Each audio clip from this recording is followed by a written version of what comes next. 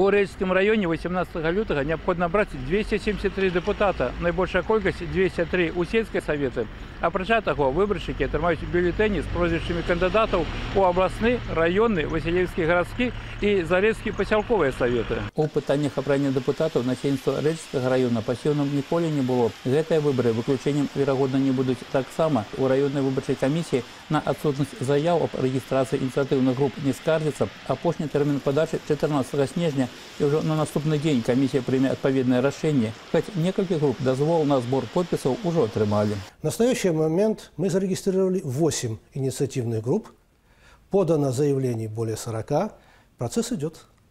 Так что выборы будут. Дырэктар рэчыцкага камунальнага гандлёвага прадпрыемства гандаль сервіс Олег Бойко дэпутатам раённага савета выбіраўся чатыры разы, а таму аб асаблівасцях дэпутацкай работы ведае напэўна ўсё. Кажа, што для эфектыўнага вырашэння актуальных пытанняў жыццядзейнасці насельніцтва у саветах абавязкова павінны быць прадстаўнікі ўсіх сфер. І хоць дэпутацкая дзейнасць патрабуе шмат часу, але асноўнай рабоце яна ніяк не перашкаджае, хутчэй наадварот. Тым больш, што і сам дырэктар чалавек крэатыўны, ініцыятыўны і дзелавы, нягледзячы на дастаткова жорсткую жорсткую конкуренцию рэчскі гандаль-сервіс прадпрыемства рэнтабельнае, а сам Олег Бойко не толькі ўладальнік шматлікіх ганаровых грамат і падзяк, але і чалавек года 2016 у номінацыі лідар. Такое званне ён атрымаў за перамогу ў абласным конкурсе. Сёння дырэктар рыхтуе да адкрыцця пасля капітальнай рэканструкцыі яшчэ адну краму. Апрача таго зараз прадпрыемства разам з рэгіянальным аддзяленнем белпошты рэалізуе праект аналагу якому на гомішне верагодна пакуль няма. Па заяўках сельскага насельніцтва на паштовых прадпрыемствах гандаль-сервіс будзе прадаваць прамысловыя тавары. Дэпутат раённага савета Олег Бойко перакананы, гэта рэальны клопат аб людзях.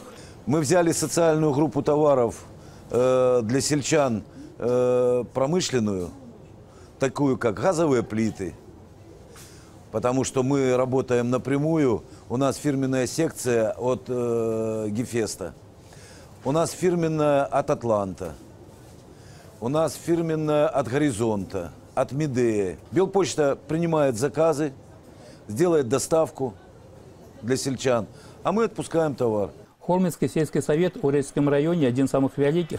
У 14 вёсках пражываюць вочак 2600 чалавек. Практычна штодзень нехта з іх звяртаецца ў сельсавет за дапамогай. Пытанні самыя розныя ад добраўпарадкавання і дапамогі ў рамонце жылля да функцыянавання аб'ектаў сацыяльнай сферы і работы аўтамагазінаў. Старшыня Сцепан Юшкевіч кажа, што за 13 гадоў, якія ўзначальвае сельсавет, ён атрымаў вялікі вопыт у вырашэнні ўзнікаючых праблем. Жыхарка вёскі пракісель Марыя Зяленская звярнулася з просьбай аб дапамозе ў падключэнні электро электроэнергіі да жылога дома. Сродкі, якія запатрабавалі для афармлення ўсіх дакументаў спецыялізаваныя прадпрыемствы, амаль утрая перавышалі пенсію жанчыны. У выніку ў будынку не толькі з'явілася святло, але і ўсе работы зрабілі бясплатна. Увогуле невырашаемых пытанняў для дэпутатаў мясцовых саветаў зараз практычна няма. Некалькі гадоў таму на гомельшчыне на апаратная нарада ў старшынь раённых выканаўчых камітэтаў разам з дырэктарамі ўсіх мясцовых прадпрыемстваў пачалі абавязкова запрашаць яшчэ і старшынь сельскіх саветаў, што значна павысіла эфектыўнасць іх работы. Здесь же сразу на месте председатель исполкома дает поручение